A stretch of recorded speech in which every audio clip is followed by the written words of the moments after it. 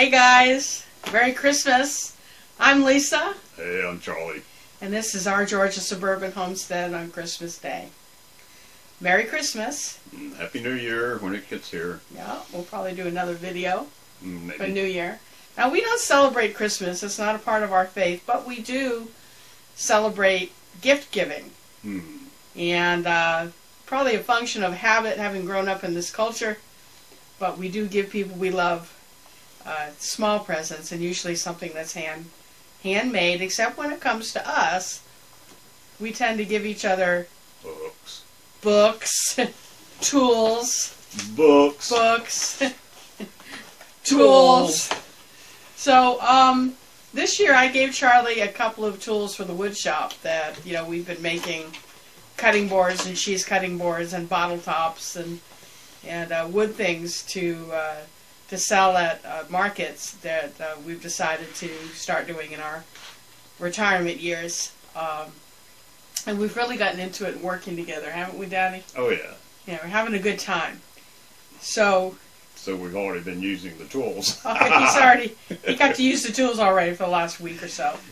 Um, but in, in the spirit of giving and uh, the spirit of the holidays, we thought that we would share with you what we gave to each other. So,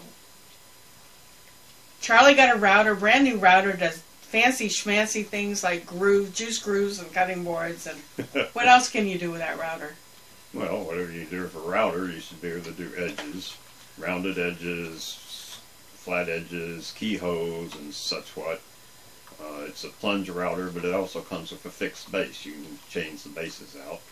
And I'd show it to you, except, as I say, we've been using it. It's set up in the shop. It's mounted to the router table at the moment. Yeah, so you can't really see it. We I And did. it's pretty dirty. It's, it's pretty dirty, full of sawdust. Um, my, my my shop is full of sawdust. oh, right, chock full, but it goes into the compost pile. so, um, I also bought him a, uh, a routing guider, or what is it called, a jig, and for the cutting uh, boards. for the for the cutting boards, but and it it's shown up yet. It's supposed to. it's supposed to make his life easier, and I ordered it at the end of November and was told it would be here within four days. And then I got notification. Oops, we oversold it. It'll be the end of January before he gets it. So that was part of Christmas. So Charlie, so I have a second Christmas. I um I've been struggling most of my life to make decent bread, and Charlie will tell you.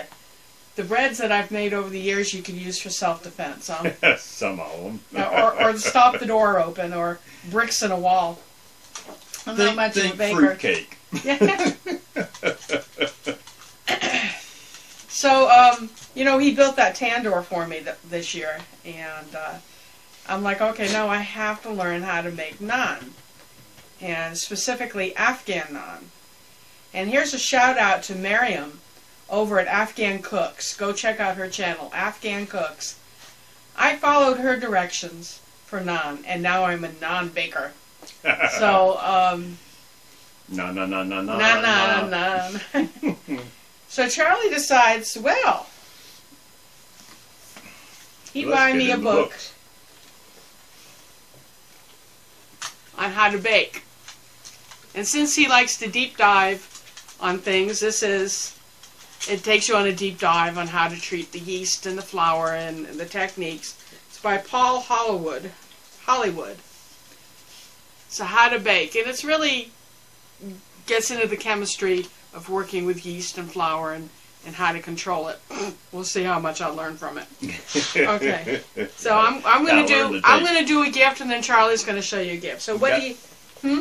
Got to learn the, to uh, take instructions from a book and go through the whole process. And maybe we'll do a video on some of that. Oh you know we will. So I got him another tool and he's been playing with it today. It's a contour guide. I was running out of thought there for a minute. You can Show him you, closer. you can. Uh, it's got a lot of little pieces that can go up and down. Oops, this way. So you can make a contour. That looks a little naughty. Um, You know, you you push it up against something, and the next thing you know, you got a contour you can trace out. See, there we go. my face. if I wanted to do something about my face, you never know. Well, you could put that like if you're doing a silhouette on something on some wood and burn it into the wood. Yeah. That's a thought. yeah. Makes me wonder. I don't have a very well defined face. What do you think? Anyway, it actually comes with two of these. So if you got something long, you got It's long you gotta doing do. floors, corners, and floors, and Yep. And uh, maybe I'll use it for uh, when I'm turning wood to, you know, reproduce the shape. One of the hardest things in turning wood is to reproduce a, a shape. Say you're turning legs Multiple. for multiple legs for a table. You, you want to make sure you get the the wide parts and the thin parts and all that at the same spot, which can be a little difficult. So we're gonna try it out on more than just my face. And it came with two of them actually. If I can get this one out. A shorter one. I there think we you go. could use that on the lathe yeah, I think small I can things use. on the lathe. Yeah, on small things on the lathe. You know, if you're trying to, to turn a ball, getting a nice circular ball can be hard. But let's say I, I get one of uh, Bamsi's play toy balls, and uh, make a contour of it, then I can take it to the lathe and try to reproduce that contour. How's that, folks? Yep, yep. You just gotta be careful with me. This has made him happier than some things have in a long time. Been playing with it today. Well, you know. All right, your turn. My turn. Did we mention we like books? Tell them about the time we gave each other the same book. Oh, a couple of Christmases ago, when I was studying for my certification in herbal medicine, I was learning about fire cider and um, getting to know the big names in herbal medicine. And one of them is Rosemary Gladstar. And fire cider is a term that she coined for a medicinal uh, vinegar based cider that really does keep you healthy. It's usually considered a little fiery because you put horseradish in it. No, actually, it's called fire cider because it builds your body temperature, which No. helps you Okay. fight germs. But I always thought it was because it had horseradish. It. yeah, well, the horseradish is one of those warming herbs, and we, we say warming Okay. Horseradish, onion, makes you hot. Yeah, makes you sweat. but anyway, so Charlie had such a kick helping me make the fire cider, and we were prone to bronchitis at this time of year. And since we've been making fire cider, we haven't had bronchitis. So that gives you a hint on how good it is. Uh, anyway, so he, he got so into making it that I decided to buy uh, a book for him that was written by Rosemary Glad, Gladstar. It's called, called 101 Fire Cider Recipes or something like that. Yeah. Um, I don't see it on the and so we're sitting there Christmas morning and we hand each other gifts, obviously books, and we'll pick them up and say, It's a book! And we unwrapped them simultaneously, and what was it? We gave each other the same, the same book. book. fire cider. Rosemary's Gladstar book on fire cider. But it turned out okay because something happened to one of them. It's around here somewhere. We still have two books somewhere, but Hmm. One that we can lay our hand on.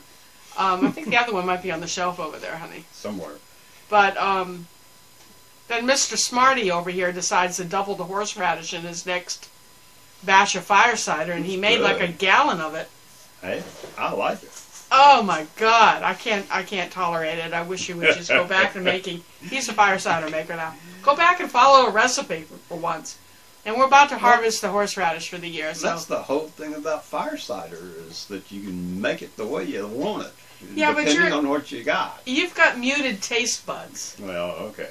He does. He's got muted taste buds, and that's how I got into cooking Indian foods because he has a very, very dull sense of taste. I have no sense of smell almost. Yeah, so his taste buds are, are like not very good. So everything has to be highly textured and highly uh, spiced for him to taste anything. So if he says the fire cider is just it's mild and it's good, then I'm on the floor gasping for air.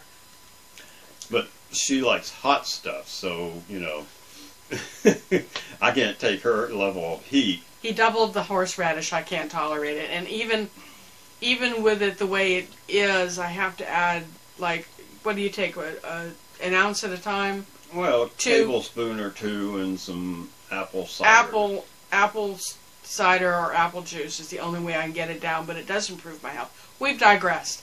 Okay. So he gave me the the how to bread book or the science of bread book that I just showed you um, about a week ago, and then today he hands me this book. Indian, Already, you know that I cook a lot of Indian food, right? So Indian, Punjabi, um, and I'm delving into Afghanistan, which is like a marriage of the Middle East and India. Um, this is called the Big Book of Indian Breads.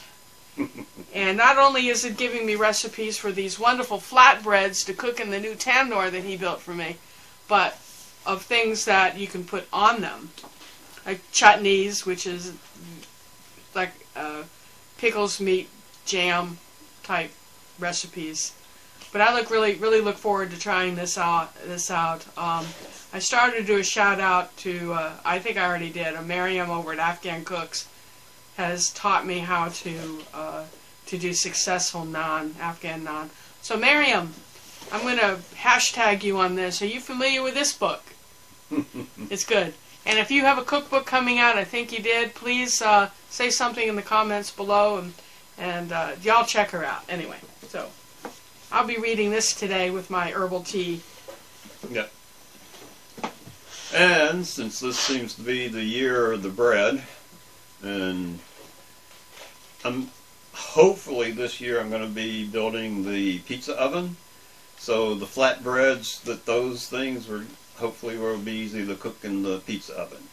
But And Uh. we'll be doing some Azerbaijani breads too. yeah, There's uh, it's a country living vlog or something like that. A lady from Afghanistan does cooking. She does no, t- no talking, but I'm going to make some of her breads, and I'll shout out to her too when when I do that. But anyway, Okay. Well, as I said, since this was going to be the year of the bread, and Lisa's uh, endocrinologist and endocrinologist, there we go, endocrinologist, my diabetes doctor. wants her to eat whole grain breads. I bought myself this book. Uh, let's see if you can read that. Whole grain breads. so I'm going to try to go in there and cook Lisa some whole grain breads of various types. It's going to be battle of the kitchen. You know who Yeah. gets yeah, but we'll work together. We like cooking together. Um, interesting thing about this book is that the, Peter like the, Reinhart. the first three chapters are about um, how to make bread as well. Now, this is more about how to make whole grain breads, and Is it different from the other breads? well, he has a different technique. He actually starts his dough at before he goes to bed. You know, a lot of the breads do. There's a two-day process. Yeah. Yeah, it's like a two day process. Um, and I'm not sure. I haven't got to the third chapter yet. I'm on still on the second chapter. But in the third chapter, he starts talking about how that helps bring out the nutrients and all in the whole grains and make sure and helps to make sure that the bread doesn't just fall apart because whole grain breads tend to have a little less gluten in them, so they don't they don't hold together as well. Um, so, like I say, um, I got to make it through the third chapter. And I don't think the recipes start till like the fifth chapter. I can't remember what's in the fourth one, but uh, He reads fast. well, I've been one of my New Year's resolutions is to get through a bunch of the books that we have bought that have been sitting on the shelf with me reading like the first two chapters before it gets put down and I go to the next book. Yeah, he gets distracted by shiny things. Shiny things being books. And New shiny books. new shiny books. We gotta love them.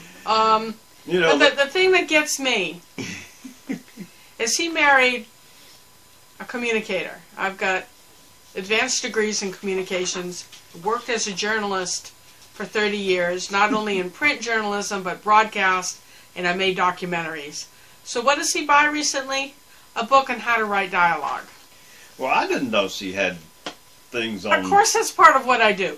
And I'm like, you, why? you why you married a successful award-winning journalist? You didn't do fiction writing. Well, fiction is another thing, but it, it the same skills in developing. Yeah. I, ju- I just Anyway, don't I'm like, why didn't you just ask me and I can teach you how to do this in effective methods? And and I'm like, Well, we're, I'll read the books and then I'll ask her questions as I read the book. Because that was another shiny thing. there's another shiny thing. But you know, they say that if a person reads books, they tend to read at least six books a year, but they might buy 18 of them. People don't that's read. just they a never fraction of what we do. And we can't go to a library, right? We have to possess them. They have to be ours. Okay. Well, I don't cover books that I like in libraries.